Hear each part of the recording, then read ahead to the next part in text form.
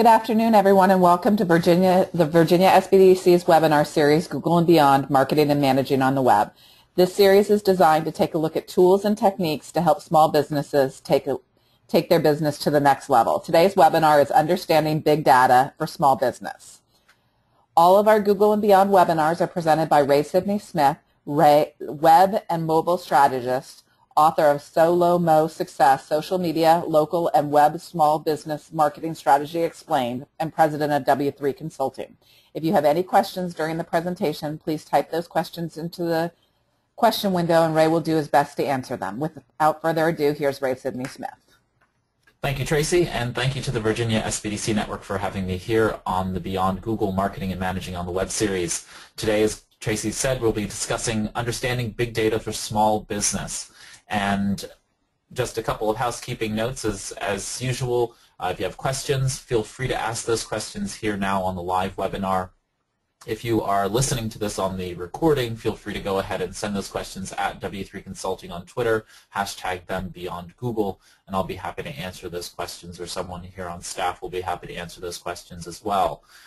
At the same time, feel free to go ahead and uh, follow the handle at Virginia SBDC, and that will allow you to be able to learn about upcoming and future trainings as well as these live webinars that we host here on the Beyond Google series. So with that out of the way, let's get into the topic of discussion for today. So a funny statistic that I just came across, to, uh, at least a startling statistic that I recently came across, was the volume of business data worldwide doubles every 1.2 years. So just about every year, the amount of business data across all companies is doubling. And really that's the topic of our discussion today in terms of your data in your small business. So we'll be covering, of course, what big data is. And then, of course, we'll be talking about the opportunity that big data provides to small businesses like yours. And then I'll talk a little bit about how to get started collecting that data and using it to some extent, how you can apply that in some of your business areas. I won't talk about talk about that too much, but I, I do want to talk about the collecting side more than the using side right now, just so that you can get understanding of what big data is and where it's going to go in the future. So let's get started with defining big data. So what is big data?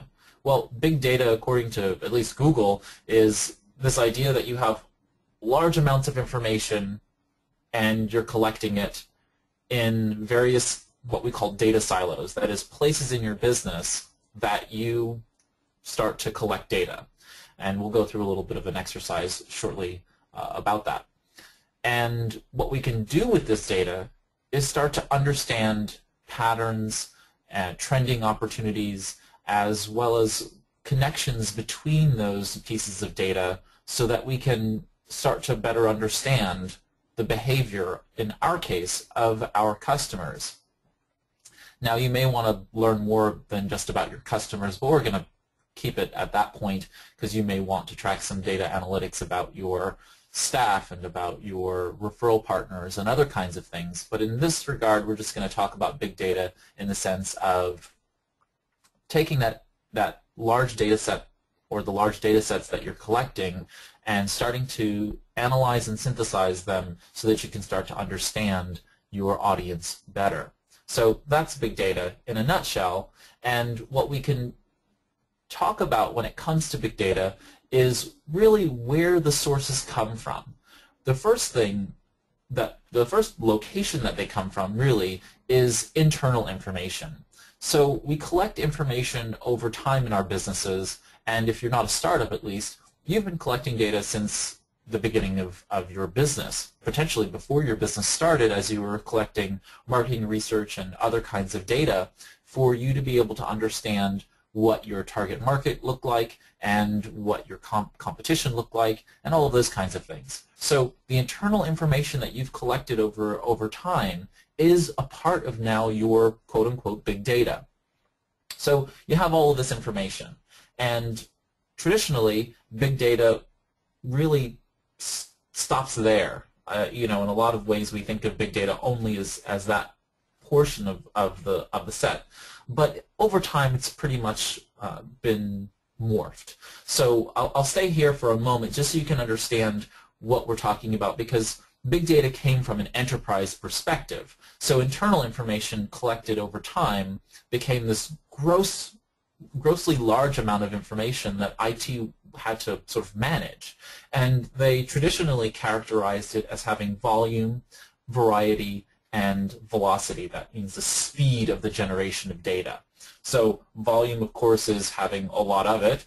Variety is, of course, meaning that they fit into disparate areas. So in a large enterprise, you'd have data in disparate locations. You might have data in human resources. You might have data in customer service. You might have data in legal. You might have data in you know marketing. And so all of this information was being held in these various data silos, but not really connected to one another because they really didn't interact on that level. They wanted to interact in their own own means.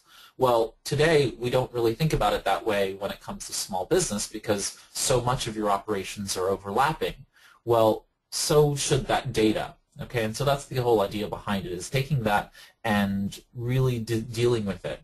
Uh, just so you have a, a, better understanding, today we, we take not just the three V's, volume, variety, and velocity, but we also talk about variability, uh, which is the uh, problem of uh, who analyzes uh, the data, uh, and dealing with you know the the inconsistencies of data over time. That is, and of course complexity. The data complexity is the is the other sort of fifth component of big data as it's been traditionally or sort of, modern day defined.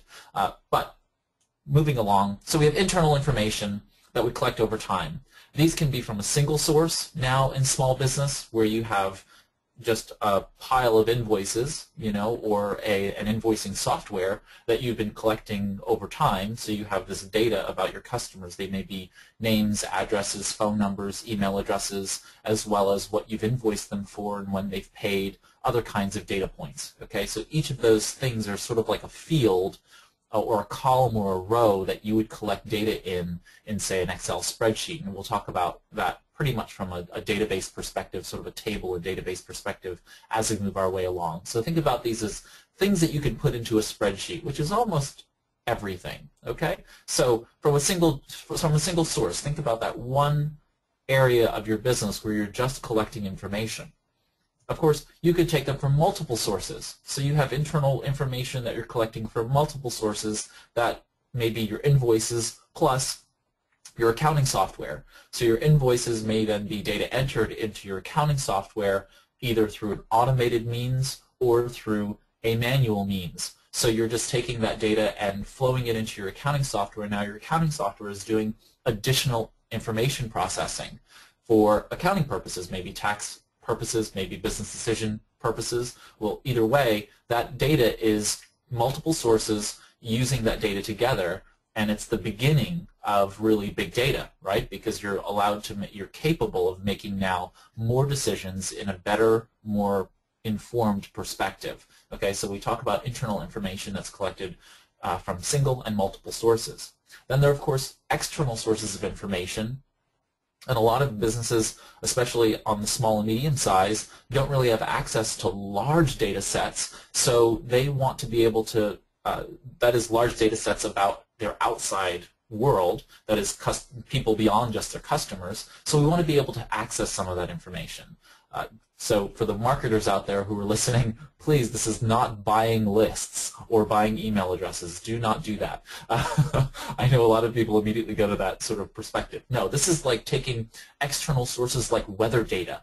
If you uh, if you look up census data and allow that into your database, well, you can get a lot of information related to your audience by being able to look at publicly available data sources. That that might be you know geographical uh, based uh, you know statistics that are covered, like I said, meteorological data, uh, you know so weather patterns, those kinds of things, other kinds of out outside sources of data about things that are related to your business. You know, so if you're a real estate agency, you might want to look at driving patterns that are collected by the local engineering firms for your region, state, or what have you. And by being able to look at those driving patterns, you can see changes in residencies uh, and, and residency patterns by how long or how far people are driving. taking that data and relating them to your own database of purchasers and sellers and those kinds of things can then give you a better understanding of your market and therefore a better understanding of how to position your properties on online and offline marketing uh, venues. So you have lots of different opportunities to be able to connect external sources of information, large data sets outside of your business information, and and relate those back to your internal information and create that connectivity that really becomes very powerful. So external sources of information can go from everything from uh, information you can collect and glean about your competitors, information that you can collect from government and other kinds of uh, nonprofit as well as private information sources that are credible to you and that you can of course then source into a database format. So really if it can be turned into a spreadsheet, it's something that you should uh, you should be able to use in terms of of a data set, and therefore you should be able you if you think that information is useful to you, then you should bring that into a database format that you can then use with the rest of your big data. Okay, so that's the idea. Think about various areas in which you have internal information and external external sources, and then blend those together to be able to get a better picture of your of your business world. So now I'm going to take everyone through a little bit of a, an exercise, a challenge. What I'd like everyone to do right now, just in the minute, and I'll be talking while you do this, so just go ahead and, and, and start uh, pulling up a piece of paper or opening up a, a document on your desktop. But what I want you to do is I want to make want you to make a list of all of the data that you collect about your past customers, your current clients, and potential customers, ones that you might uh, collect through marketing mechanisms like email subscriber lists or other kinds of things throughout your business year. So go ahead and start making that list. Just quickly jot down what data you do collect about your customers in every area of your business. What information is it that you pull from various areas? So here goes a couple of prompts. Think about tools you use to interact with your customers. So those tools may be paper-based, they may be electronic or otherwise, but think about the various tools that you use because the, the, at each point of the tools that you use to interact with customers are areas where you are collecting data. And that data may be in different pools, you know, they're, they're sort of walled gardens. They're, they're disconnected from one another, but they fit inside the same business and therefore should be communicating with one another. So think about the tools you use to interact with customers. Where are, what are those tools and what information is being collected from them? That's definitely one area you want to, want to sort of capture now. Next up, think about the various departments in your small business. If you have departments or different areas of your business that you're managing, even if you're a solopreneur or, or a small a micro business, think about yourself in terms of the various hats that you wear. You know, when you're in sales mode, when you're in customer service mode, when you are dealing with uh, deliverables and handling the core parts of your business. With those different hats on or those different departments in your business, where are you collecting data? What particular data points are you collecting and why do you collect them? There's probably a good reason you started collecting that data. Well, it should be thought about further how they connect with one another. How does the accounting data connect to your legal and regulatory data that you might collect about a customer? So if you're going back to that real estate agent, uh, real estate agency or brokerage uh, example, if you are collecting data about your potential buyers? Well, you're collecting quite a bit of, of financial and legal and other kinds of uh, information. Well, how does that really relate to the properties that you're listing and, and other kinds of things? How, how are those pieces connected to one another? And finally, think about the offline paper and the digital web sources. Many times, getting the offline and paper data sets into digital so that you can look at them is not as difficult as you think. So if you can take your offline or paper data and digitize it in some way, shape, or form, then really start to think about where you're capturing that paper data, not necessarily that you even change your business processes to not capture on paper. For instance, many retail and restaurants still use paper uh, you know, paper tracking of various types of receipts and other kinds of things. In the real estate construction world, you'll have paper-based invoices and those kinds of things done on-site on the job. You're not changing those things, but you're capturing data on them, and it might be very easy to capture more data into your digital world so that you're capable of using that in a big data perspective. You may even decide that you're not going to use the data from the past, but starting forward, you're going to start collecting that data into your system. So what offline paper and digital web sources are you collecting now or potentially could collect in the future? So with that, you'll start to develop now a list of data points that you want to start collecting uh, together in your mind so that you can start thinking about the, the, the associations. Remember that big data is about the not only just the patterns and trends, but also the associations that are created from the collection of this data.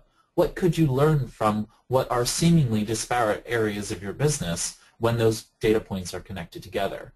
What can you learn from the, the inventory that you have on the shelves comparative to the information you learn about your customers when they exit your website? Okay, there's a there's a good bit of information that can be that can be culled when you take these disparate kinds of information. Okay, so I hope everyone got something out of that challenge. I hope you made a good list and that you have some uh, good ideas about uh, what you could do with big data as you sort of move your way along. And that brings us really to the big data opportunity. What can small business do with big data is really important. And so I want to really cover uh, the, the aspects of the big data opportunity that are most prevalent to most of the small businesses that I see taking advantage of it. So what can you do when you're armed with big data? First and foremost, you can streamline processes. One thing that I've noticed quite frequently in many of the businesses that I consult is that many of the processes they have were built in a startup mode. So in the startup scenario, there's a business owner and perhaps a couple of other people, or there are founding partners, and everyone's sort of scrambling. You're hustling to get all of the things done in a particular day. The days are never long enough, and you just keep working until one day the business sort of grows. And when the business grows, you continue to keep growing. So you hire more staff, and you implement new resources and tools, and the business just sort of grows organically. Well, the problem with organic growth many times is not necessarily that it's bad, but it's certainly inefficient you do things out of out of virtue of necessity and not necessarily out of the the sort of uh, forest level view. You know, you're sort sort of still cutting down trees and not looking at it as in terms of forest management. So by being able to look at all of this data together, you can actually start to see where you might have inefficiencies in the system and be able to close up those open holes and therefore have a much smoother, streamlined uh, workflow, not only internally, but also for your customers. Think about the ways in which your customers might have bottlenecks in the purchase process or in deliverable process. So if they are, you know, if you're if you're trying to uh, close up the fulfillment side, well, you can do that by looking at the data. The data will tell you where the problems are most frequently. If you're collecting the data, you can probably see what and how the problem is occurring. So this, of course, time and time again, as I've seen, lowers operating costs. Lowering costs equals higher profitability, so that's always a great thing. And so streamlining processes is really one area where small business can gain huge benefits, huge dividends for being able to do those things. So think about areas of your business with the data points that I just challenged you to make a list of. Where in those areas might you be able to save money? Because you're, you're able to connect the, the, the, data points? Is there parts in your accounting, accounting software that can show you where there might be leaks in other areas of the business? Yes. So look at them. Check them out. See where they might be able to connect to other data sources. You know, is your inventory system connected to your point of sale? Is your point of sale connected to your accounting software? Is your accounting software connected to your social media and other marketing tools? Think about how those might be streamlined together to be able to create a more seamless and uniform workflow. Next up, is, of course, marketing. Marketing is a huge part of small business. I've heard statistics that show that 80% of, of small businesses' time is spent in a marketing mode. And so, of course, you can use big data to market better. One, as, it's, as the definition of big data talks about, it's about learning how your customers behave. And the more you learn how your customers behave, the more you can take that as an opportunity to market to them better. So as you understand your, your target market better, you're capable of relating to them better, you're capable of catching them where they are when they have a felt need or want, and therefore you can increase your revenues. You can go ahead and put the right products in front of them, the right services, uh, you know, uh, before them when they have the, the need or want to be able to use those services or buy those products. So targeting your market better is definitely a great opportunity for small business. So looking at your advertising, you know, ad spend, looking at your marketing generally, looking at your referral sources and being able to see how a brand advocate within your business is sharing that content and sharing your name across various social and web properties. Um, tracking email so that the email can be connected into your customer relationship management software so that you know that that's, that information is being handled appropriately and being able to communicate better with those people can really increase revenues in dramatic ways if you just pay attention. And finally, gaining edges on your competition. Now, I tend to think of competition differently than most small business sort of experts, if you want to call them that but I really think of competition as being a community of people who help serve the same population. You work together more than you work against one another, but it's sort of like the adage says, you know, know your friends but know your enemies better. The reality is, is that you should know your competition very well. And big data can really allow you to do that. So much data is available online today because of social media and other kinds of online interaction that being able to go online and uh, collect this data about your competition is really important. You really need to be able to collect that data and of course that means you have a competitive edge over being able to differentiate over time and that means what makes you different? Why should I go to you versus go to your competitor? Well, using big data, you can really do that. You can really separate yourself from the competition by by showing yourself differently to your customers and improving your products, improving your services and the quality of services that you're providing. So gaining an edge on your competition is definitely another one of the big data opportunities think about the various other opportunities that will avail you by being able to access big data and you know start to put down your own reasons. There are your own motivations for being able to access and incorporate big data. So think about big data from the perspective of increasing revenues, reducing costs, and of course getting to know your competition better. There are many other opportunities. Getting to know your own business better, getting to know your customers, getting to know your employees and vendors and other shareholders in the business better is also a possibility within big, big data. So there are many opportunities. These are the top three that I think are most important for small business, and I think that there are many more that you can come up with yourself. So let's move right along. So to, to, to making better decisions with big data, and that means getting started with big data. Okay? So getting started with big data really just means the process of collecting and understanding how to use that data. So the first thing that we want to do is to understand that collecting big data is actually rather easy today.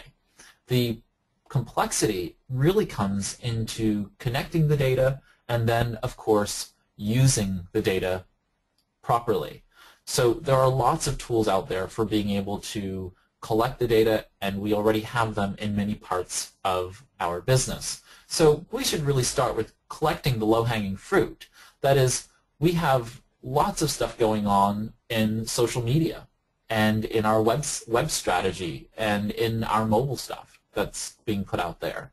So get yourself a branded short URL. Make sure that you're out there putting that, that data through uh, a short URL. If you don't know what a short URL is, I just posted a blog post about this uh, today, and uh, it's about short URLs, why you should create and, and uh, deal with a branded short URL. You can just go over to our website and do that, and uh, the website will be on the last slide, so you can check that out. But you should definitely get a branded short URL and use that for all of your social media sharing uh, activities.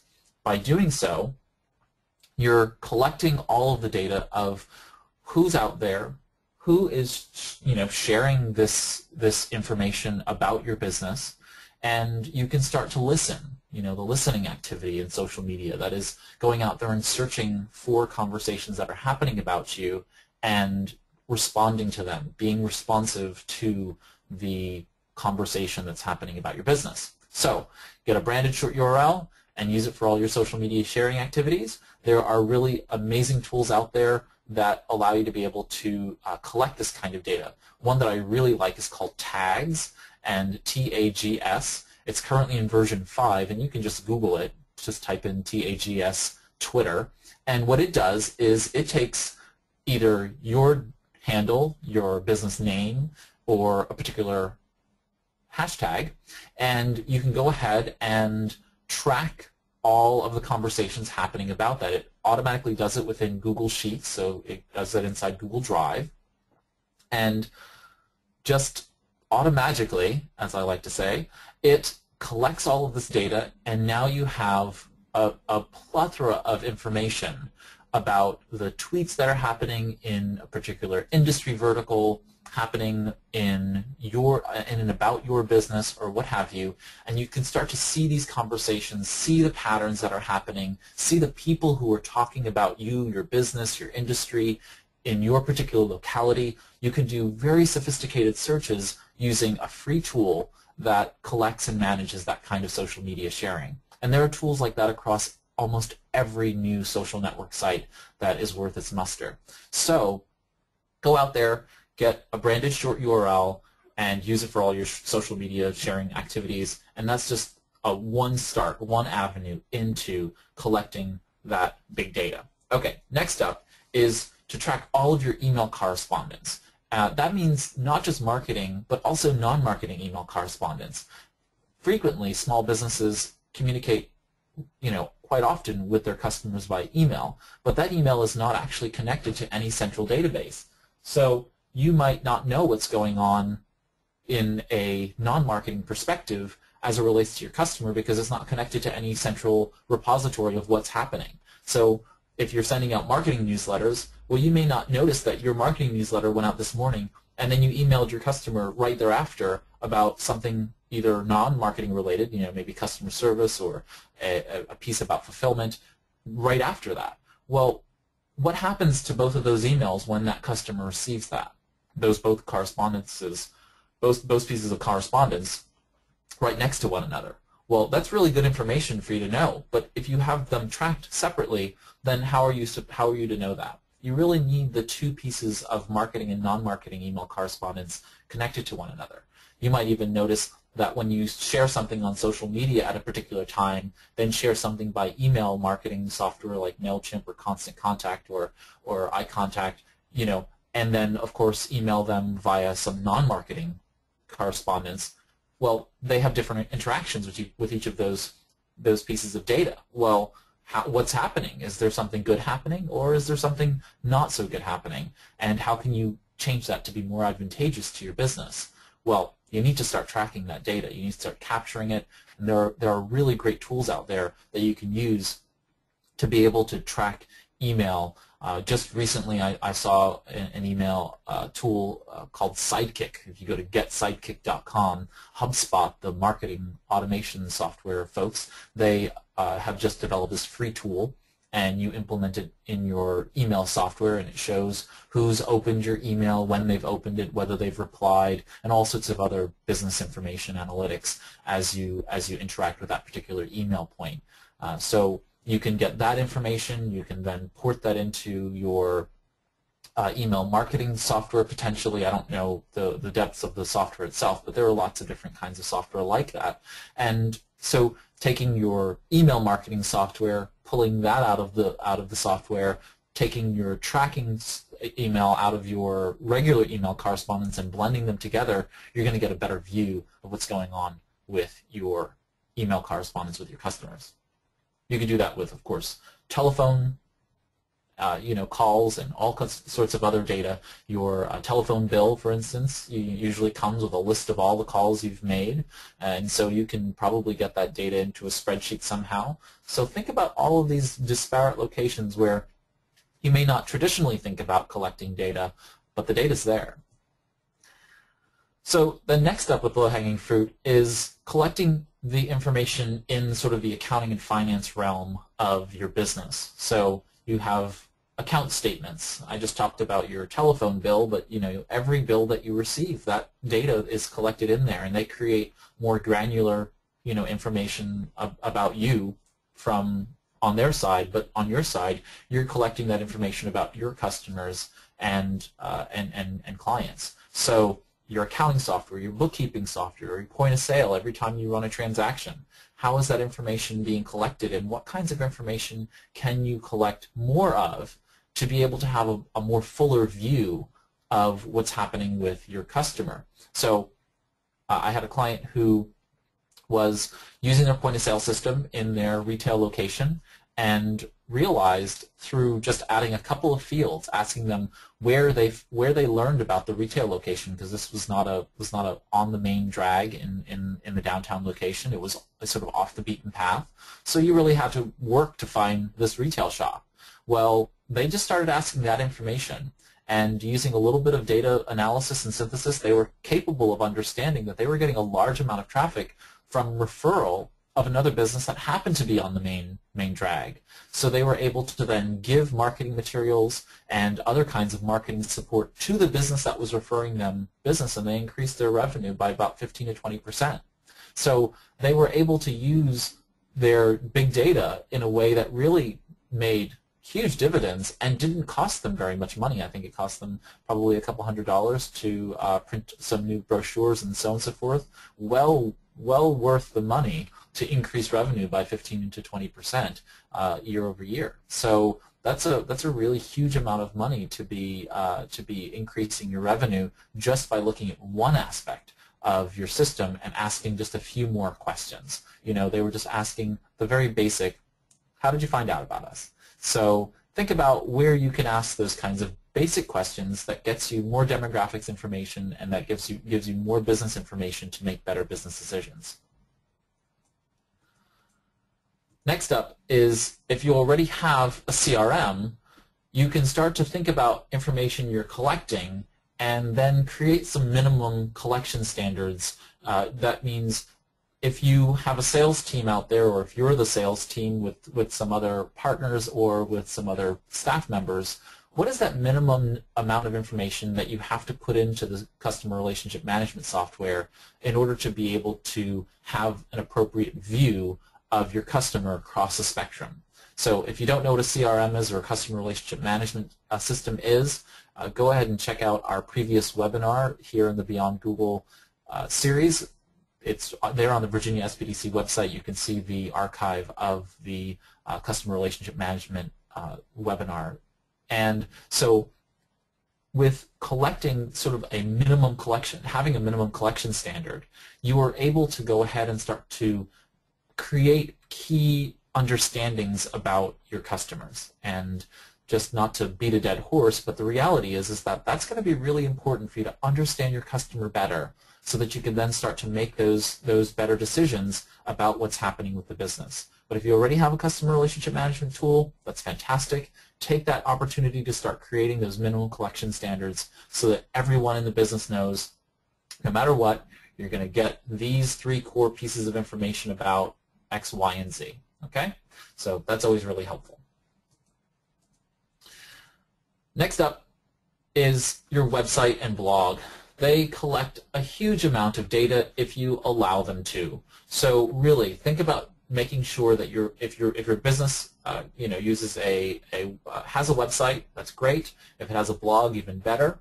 And both of them should be collecting data using either Google Analytics or another kind of web traffic collection tool.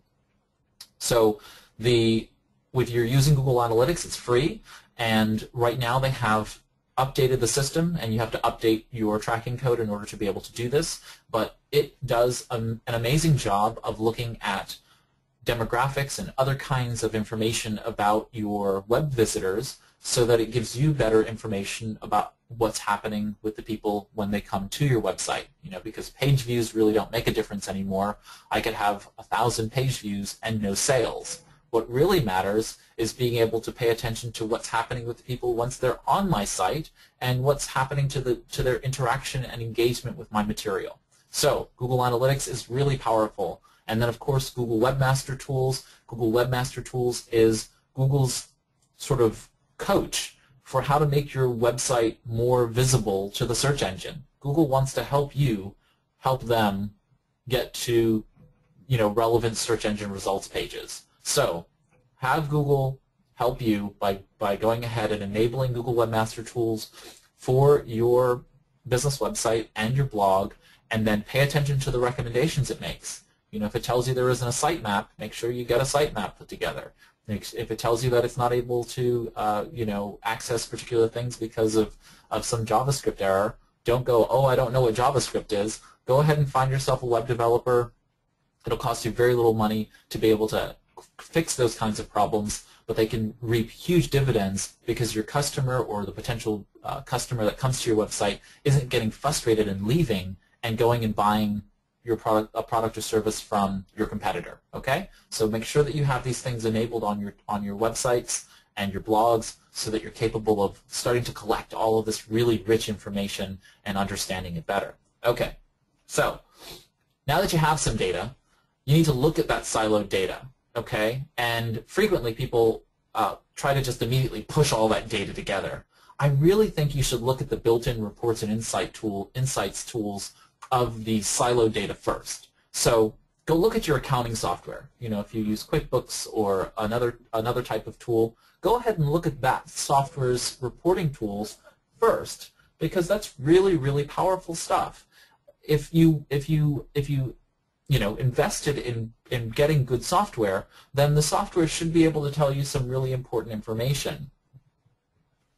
When you look at that information, you can then see, okay, well, this is what it's telling us about the customers in this slim view, in this narrow field of vision.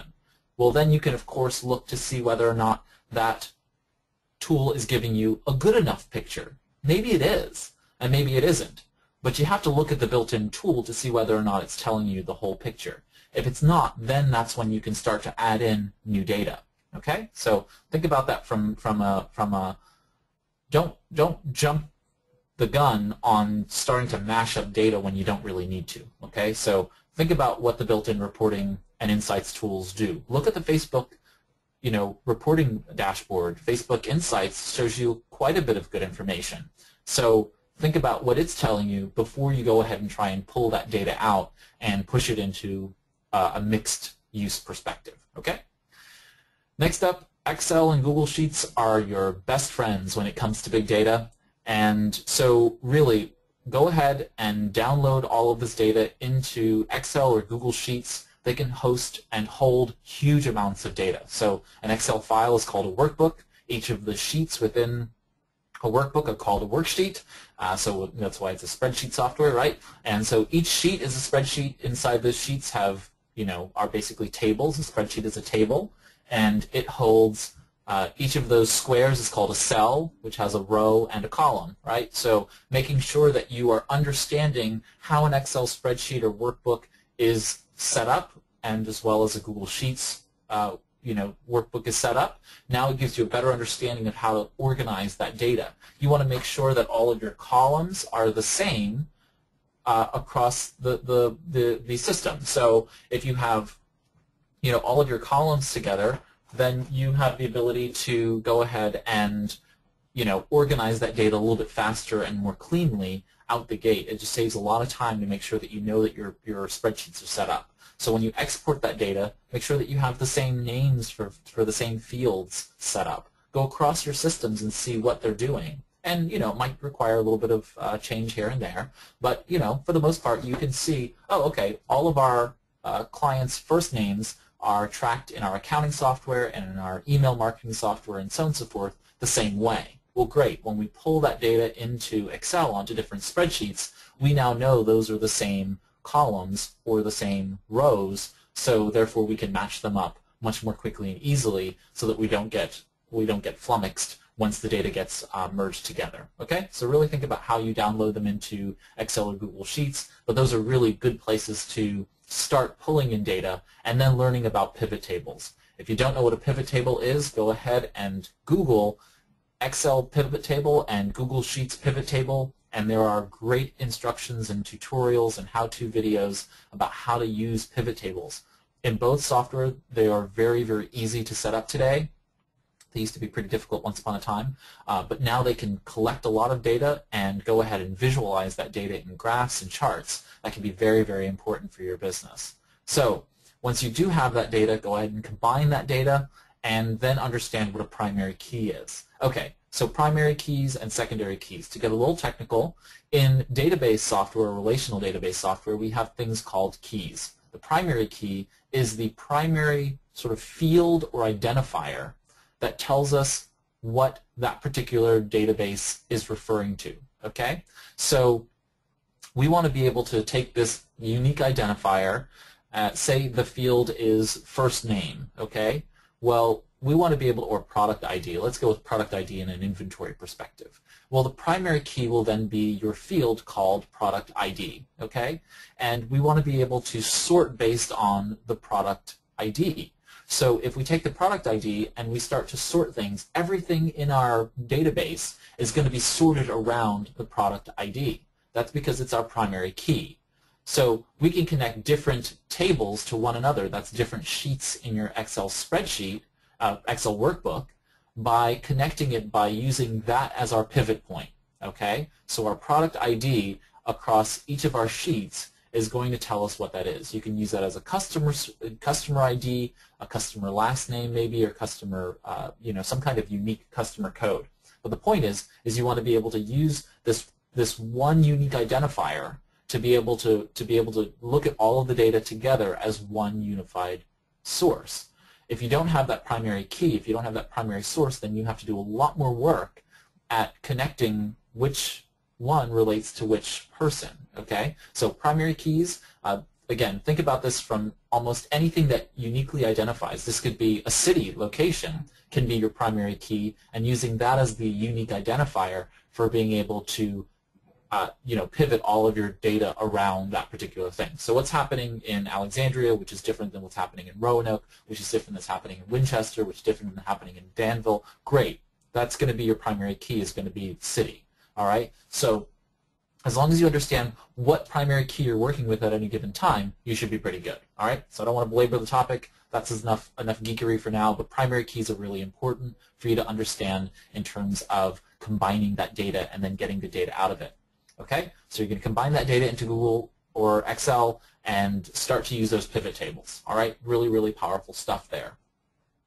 Next up is there are sophisticated tools out there and what we call data scientists. So data scientists are out there helping you understand the data once you get to sort of that more sophisticated level where you want to understand this stuff.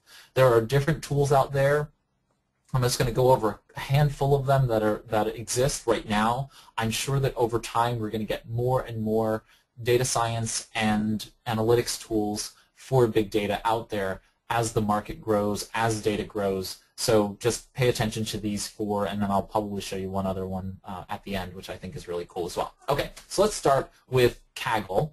Kaggle is a really cool tool because what it does is it creates competitions for you to you know design and what it says is, okay, so we have a data problem. I have all of this disparate data, and I don't know if my customers are finding me through, you know, uh, a funnel of website to email to walking my walking in my front door, or they are uh, introducing. I'm, I'm being introduced to a lot of customers in social media. They're making it to my website, but then they're dropping out, and they're not really converting into customers. Well, these folks, you could just basically host a competition. You set a prize, a reward to the person for uh, you know, coming up with a solution to the problem, and uh, then the person who wins gets your gets the bounty. So you have uh, this whole large community of data scientists who you know compete to be able to come up with the best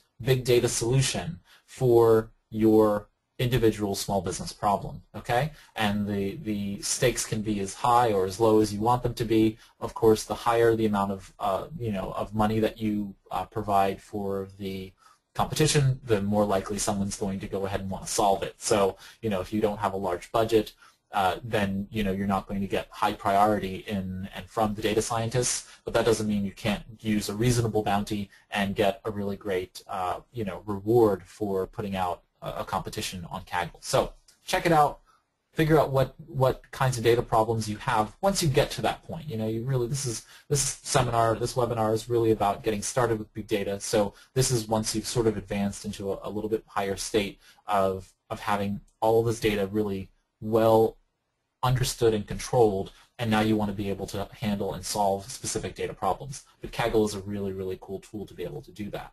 Next up is if you really want to get in on a sort of a, a self-service level, Office 365, Microsoft's Office 365 has an internal product called Power BI for Office 365, and it does its own uh, data analytics services within the Office 365 uh, cloud model. So this can be really cool because it can it can visualize the data for you and has interactive dashboards. It even does 3D visualization. So really cool tool for being able to do things like that. And you can, of course, share this data uh, easily. So you might want to check out Office 365, uh, the Power BI tool that's within Office 365 to see whether or not that's something that would be helpful to you. I see a hand raised. Tracy, is there a question or if the person wants to ask their question, I'll be happy to answer that for you. Uh, next up is a, a, a, startup called Clear Data, uh, ClearStory Data, and ClearStory is another one of those uh, visualization and analysis tools. So if you are, have gotten to that point where you have a lot of big data and you want to be able to go ahead and, and see what you can do about analyzing this, these disparate pieces of data, ClearStory Data is one of those tools that's out there to be able to do that. Uh, they are, like I said, a new company, but they're capable of looking across various different areas. So if you want to look at it from a C-level perspective, IT perspective, if you want to look at it from a marketing or social media perspective, they have these tools to be able to look at those in, in various verticals. Ray, the question um, from before was Office 365 locks you into Microsoft products and they do not provide support for migration. Is this still true? Not as it relates to Office 365's uh, the, the, the data that you're importing into into the Power BI is data that actually already comes from and out of uh, other systems. So in essence, that data can't be locked into Power BI because you're you're sourcing it from someplace outside of it. Now, from the perspective that you're you're getting data locked into 365, now once you start to do once you start to enter data in there, then then yes, it is it is locked in there. I I know of a couple of different export tools that can do that, uh, but nothing nothing as sophisticated as being able to get everything out in one clean uh, you know, fell, one fell swoop, so to, so to, speak, so to speak. So, um, so there is a concern still about that, but if you are in a Microsoft world, if you've, you know, if you've been there and you go to 365 and you have, you're comfortable with it, then, then maybe Power BI will help you. If you're concerned about obviously getting your data out, then you don't want to go there.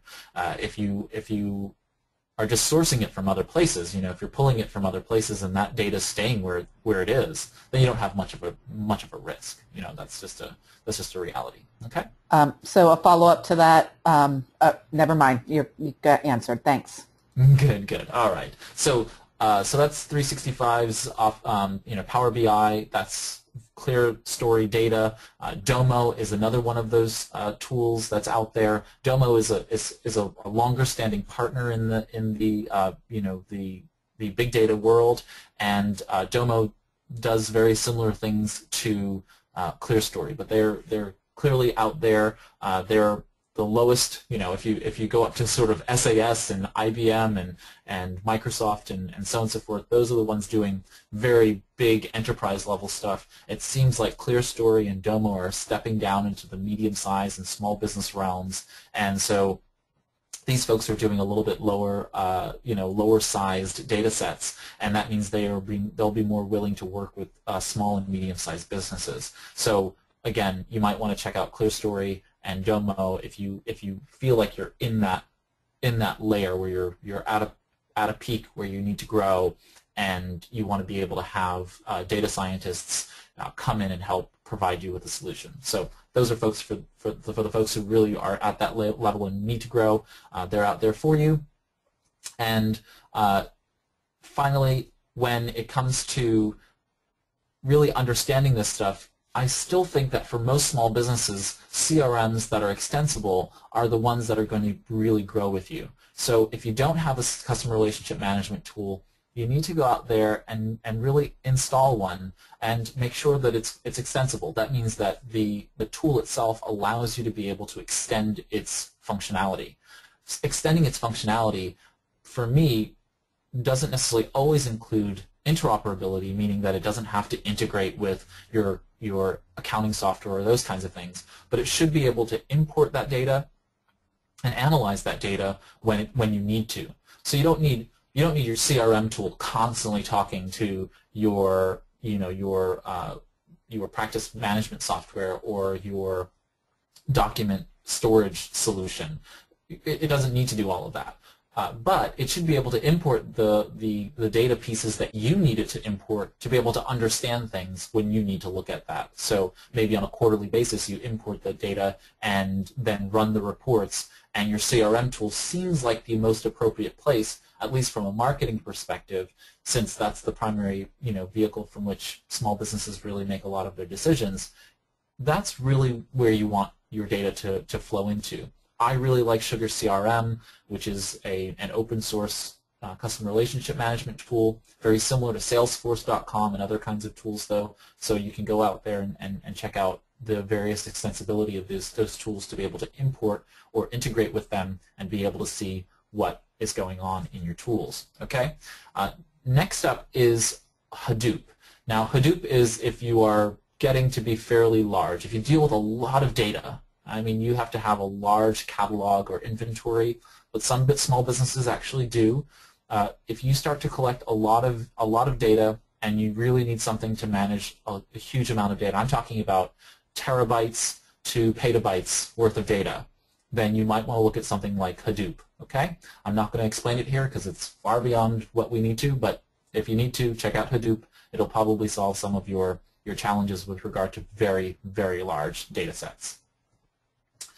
Uh, finally, as you start to grow, you start to want to look at additional tools that have various terms here. So I tried to avoid them until now, but like Power BI, the Office 365 tool, the, the BI stands for Business Intelligence, and as you're looking at tools and Googling on, on the internet uh, or elsewhere, you might want to look for these types of terms, business intelligence or BI, uh, big data insight, big data analytics, data visualization. They're all terms that come up when uh, that, that different providers as well as industry experts use when they're really just talking about big data. So you'll, you'll see it used across the spectrum. They, they sometimes mean uh, tangentially different things. They may mean different things to different people, but for the most part, it's all under the umbrella of big data. So, so look for those terms as you're looking for different tools, and you'll come up with different solutions for them. And then you'll see what kinds of markets uh, the that particular tool is servicing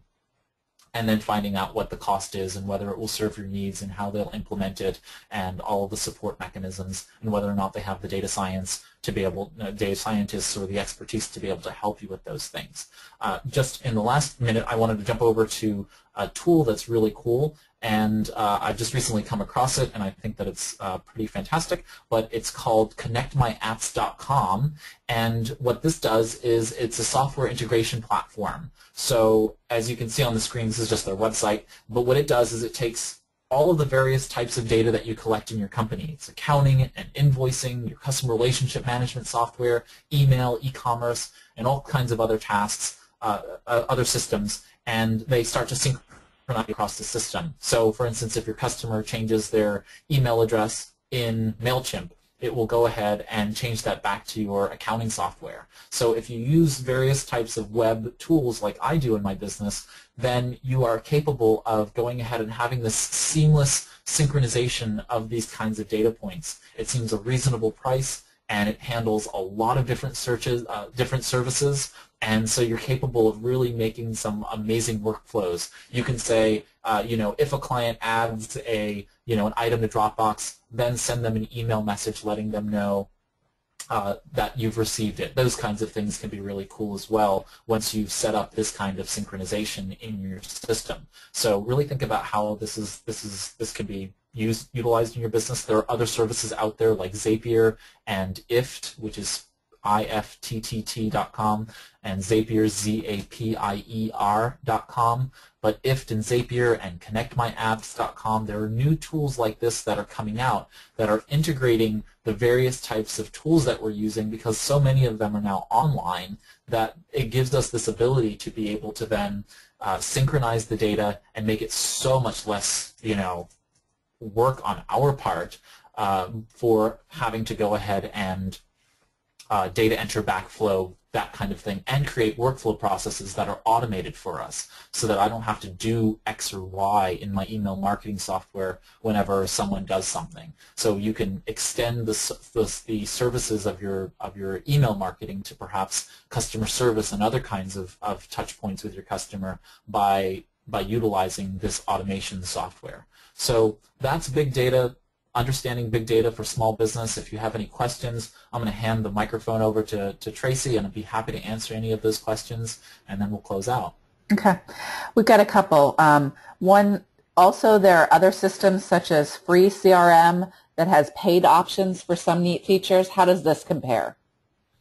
So I haven't really checked out too much of the of the paid options for a lot of the, the community editions of open source software like Free CRM and Sugar CRM, they will depend upon the developers and, and the support community around them. What I know about Sugar CRM is that they have a strong community support and a, a strong commercial support license structure. So that's really the only one I'm, I'm as familiar about to be able to recommend but if there's some particular feature within free, free CRM that makes you want to use them, then of course you'll you'll want to check them out. But I would check them out against all of the options. So like Batchbook.com, which is out there, and uh, I think Matchbook is one of them as well, and, and other kinds of, of, of CRM tools that, that help you connect more pieces of the puzzle than just the traditional CRM perspectives. But Salesforce.com is strong and, and that kind of thing, but I really like Sugar CRM, and I like the way in which it operates uh, for small business, and the fact that there are so many developers out there that really work to make the whole tool cohesive for you. So if you need something done, then you know that you can go ahead and get that actually done. Uh, if you have if you have a specific question about free CRM, I'm happy to answer those questions, uh, but I, I don't I don't know much about the the uh, commercial support side. So I apologize. Okay. The other question, I think it's the same person that asked about the Microsoft 365 question, so I think this is back to it, but it says, sorry for the delay. There's there still is a limitation on drop-down menu options with other KPIs. Is this still true as well? Limited drill-down interaction with other KPIs and pages. Cannot access page actions, cannot access dashboard actions, actions, limited navigation hoping that makes that, sense to you. yeah, so that that's really that's really based on your on the on the service that you have. So there are different different versions that I my, my understanding is that that within 365 there are ver different versions and different versions give you different access to things.